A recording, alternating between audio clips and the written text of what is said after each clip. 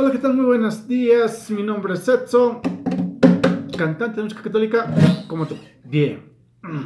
Me quito un poco los lentes por el tema de la luz. Te pido perdón, estoy viendo los videos. Eh, lastimosamente estoy frente a una ventana y se está pegando a el brillo a los lentecitos. Entonces voy a procurar hablar sin lentes y antes de cantar ponemos los lentes. Voy a hacer el esfuerzo de ubicarme en una mejor posición para que eh, podamos hablar mejor, ¿sí? Para que no sea tan tan eh, poco agradable que se vea la luz a mis, a mis lentecitos, ¿no? Ok, bien, hoy vamos a hablar del tema de los salmos. Salmos. Bueno, tú debes saber que los salmos son músicas o son poesías cantadas. Y al momento de la celebración, cuando hablamos de los salmos, estamos tratando de comentar que em, es importante un salmista o que el coro, al interior del coro exista un salmista. ¿Por qué? Porque el salmo es una forma muy elegante y a la vez también muy, muy profunda de comunicar el Evangelio mediante la canción. He estado observando algunas misas en México, algunas en Venezuela, ¿no? gracias a, a los medios virtuales que tenemos, y en algunas eh, parroquias hacen el esfuerzo, honestamente, de eh, tratar de que el salmista comunique, cante siempre el salmo. Mm, en algunos casos, como en México, los salmistas es el mismo pueblo, probablemente son personas que están ya practicado, pero tratan de manejar una cadencia, una cadencia que es muy importante considerar, ¿no? Bien, eh, ¿sabes? Un salmo tiene que estar muy bien interpretado y existen salmos muy especiales. Uno de los salmos que yo considero que es uno de los más bonitos, pero también más fuertes, más dolorosos, es el Salmo 22, ¿no? El Salmo 22, ¿por qué? Porque el Salmo 22 expresa eh, en la letra en sí, en el contenido de la letra, lo que sintió Jesús en el momento de la crucifixión, estando ya en la cruz. ¿Sí? Mm, es muy difícil y me parece maravilloso considerando que los salmos han sido escritos en la época de, del rey David. Eh, espero no equivocarme y si me equivoco me lo haces saber, me lo comentas. Eh, el Salmo 22 describe perfectamente lo que sintió Jesús en la cruz, estando en la cruz. ¿Sí? Existen muchas versiones de este salmo. Yo he observado eh, algunos, algunas versiones. Una versión, acá lo vamos a ver, ojalá no nos equivoquemos, ¿ya? Es la justamente de, aquí estamos, Rafael Moreno. Esta es una versión que en lo particular considero que no debería interpretarse así, porque tiene muchos adornos, ¿no? Si bien es una canción, eh, este salmo, este en particular, requiere que sea un poquito más ceremonioso, ¿no? Porque estás tratando de mostrar o de contar, tú estás haciendo, en este caso como salmista, el papel de Cristo, contando lo que sientes estando ahí en la cruz. He buscado en la red, no he encontrado otras versiones. Una versión que pude obtener es la de Andrés Felipe, y creo que es la, la versión que más, más se asemeja. Escuchemos un poquito el salmo. ¿Sí? Y tal vez me entiendas a lo que me refiero cuando te digo que expresa lo que Cristo sentía, ¿no?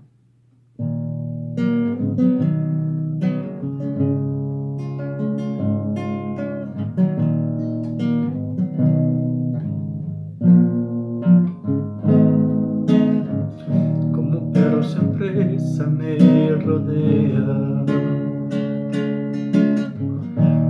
huesos se han descoyuntado.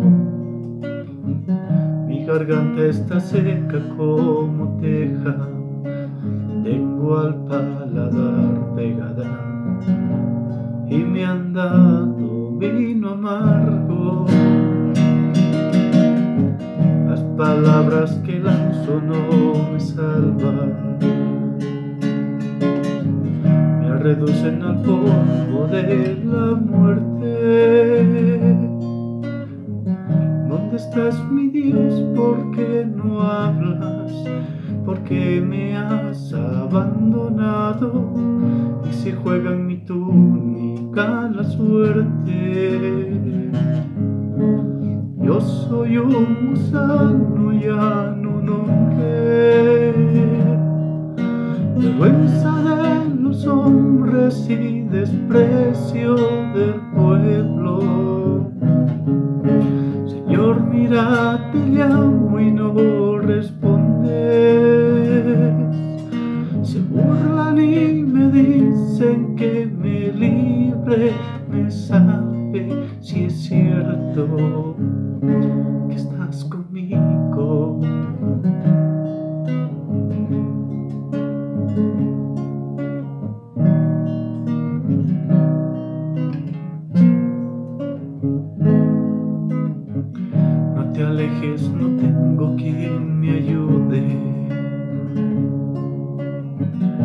Mis amigos me han abandonado.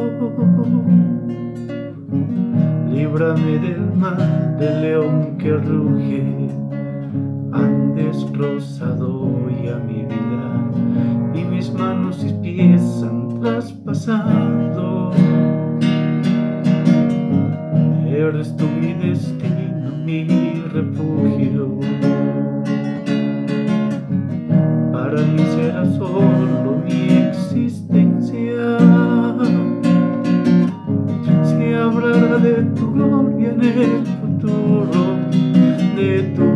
De que eres justo, de que eres el Dios que vive y reina.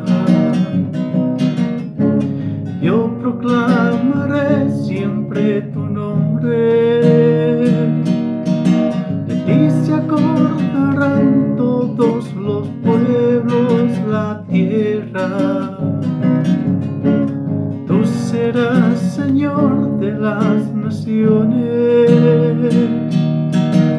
Reinará tu casa entre nosotros, tus hijos que esperas. Señor, no tarde.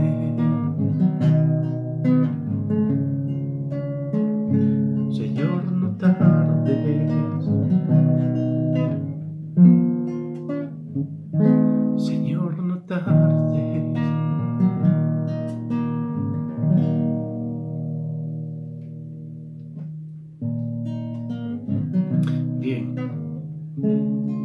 Escuchar,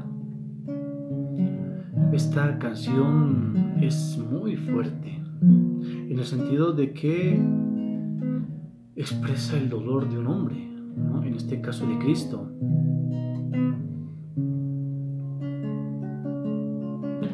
Imaginarte a ti ahí, frente a la cruz, y escuchar todo lo que Él dice, creo que es en este caso la actitud que nosotros deberíamos tomar como salmistas, ¿no? Tratar de comunicar lo que Él dice ahí estando en la cruz.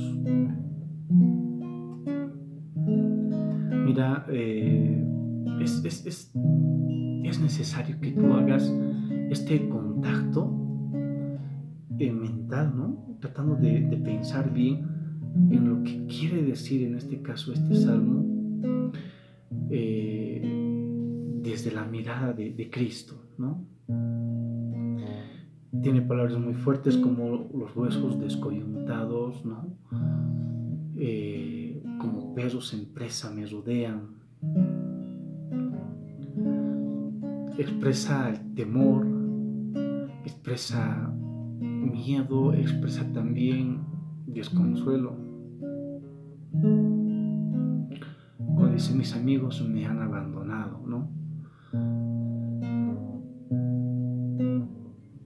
Sabes, trata de imaginar tú qué, qué quisiera, qué hubiera querido decir en este caso Cristo, porque sabemos nosotros que los salmos y todo lo que está en la Biblia ha sido inspirada por el Espíritu Santo.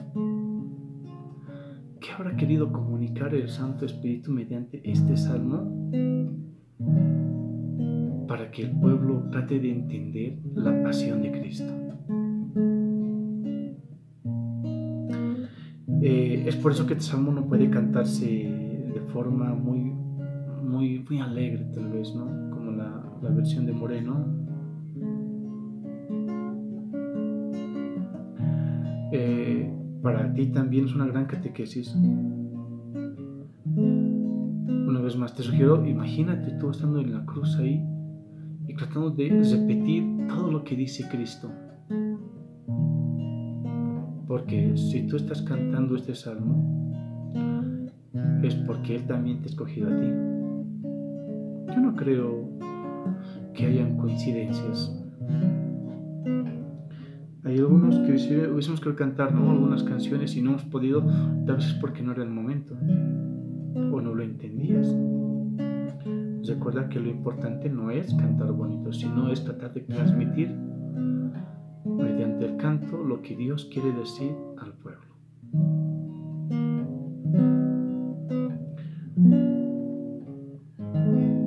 Estudia, estudia bien la canción, ¿no? Y que tengas un bonito Domingo de Ramos y Jueves Santo. Más tarde hablamos para cantar el pregón pascual y también las letanías. Nos vemos.